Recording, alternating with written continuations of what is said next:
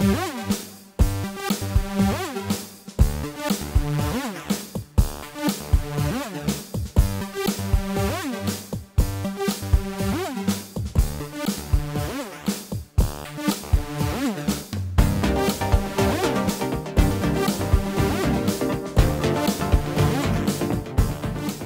Computer Science Doctoral Consortium has been very productive in terms of uh, students socializing, um, getting feedback on their research, uh, getting some constructive criticism and comments. I'm part of the uh, committee who organized the uh, whole event because it's student-led.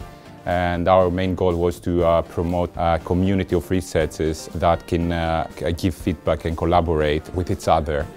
It's a fantastic event. It's a nice friendly environment. You get some constructive feedback about some of the research that you're undertaking and it's very much like going to any kind of established international conference. We're joined by some really uh, leading experts in uh, their field and it's quite interactive and engaging. And it's good practice for the Viva, you know, you get a chance to defend your research.